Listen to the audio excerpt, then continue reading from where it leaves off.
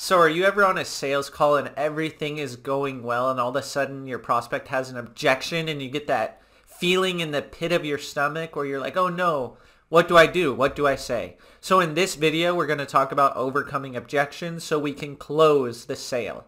So this is part five of the five-part Science of Selling series. So now we're ready to close the sale. We want to get the deals. That's the whole point of making all of these videos isn't it? So I'm excited to share this with you. So when we're closing the sale, of course we want to have the attitude that we're assuming the sale the whole sales call, the whole way through.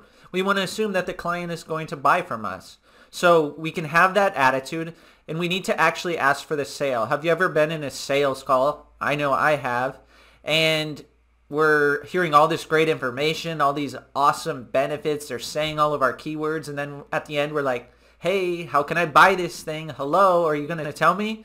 So make sure you actually ask for the sale. Now, before we ask for the sale, we want to, you know, listen for any objections. So there's really only four objections that can come up. I don't have enough time. I don't have enough money. I don't believe you. Or this works for everyone else, but I don't think it's going to work for me. So when we get an objection, before just spewing all this information out and pressuring them into the sale and immediately wanting to overcome it, we need to listen. We need to fully listen to the objection to really see like, well, what are they saying? Is there deeper meaning to this? And really, before we even try to respond, we can just ignore the objection the first time it comes up. So if they say, I don't have enough time, just keep going on with your call. And then if they bring it again, then you can respond. But listen and maybe ask a few questions first to clarify why or how they want to overcome this objection. So fully listen, then respond. And when you fully listen, this is going to build trust. This is going to show compassion.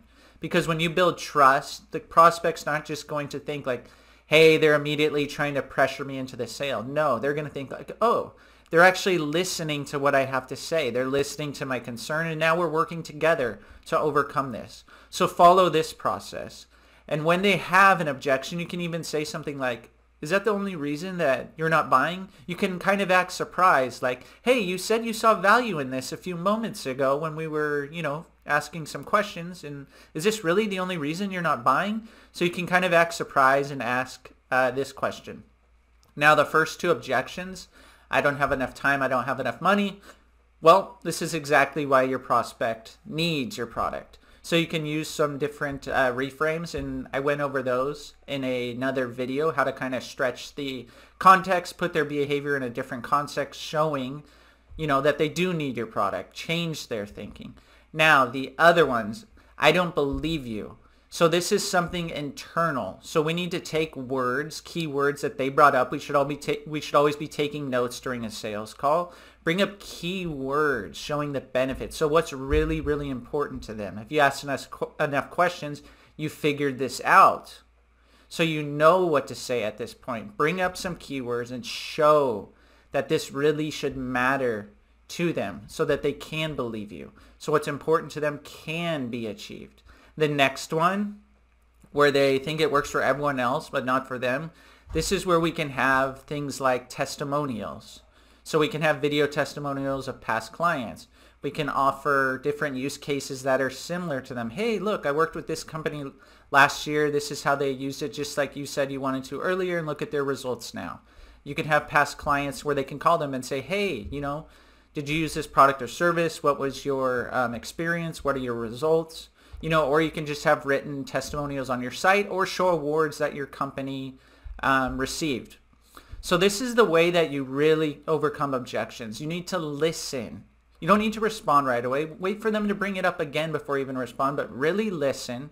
Ask some questions. Find out if that's their real objection or it may just be a smokescreen. So really find that out before you respond and think, what can I say to really over- overcome the objection for this person specifically. Don't say it as if you were telling everyone that you've ever worked with. This person specifically. So gear the objection toward their keywords, towards what they want, what goal they want. And they should have told you all this information earlier in the call. So this is how we overcome objections and how we can really close this sale. So thanks for listening. I'm going to be making some more videos um, on sales. Um, some are going to be relating to uh, selling directly to the unconscious mind and how to kind of overcome some pressure and really control that state you're in. So we want to go into a sales call comfortable and confident, in control. So I'm going to talk about that as well. So if you ever have any questions, definitely comment below, like the video, subscribe to the channel. And if you like these uh, videos and you want to learn more about what we offer here, go ahead and email me. My information will be at the end of the video, how you can get in touch with me, and you can join one of our NLP uh, sales trainings. So thanks for watching the Science of Selling series, and I appreciate all of you.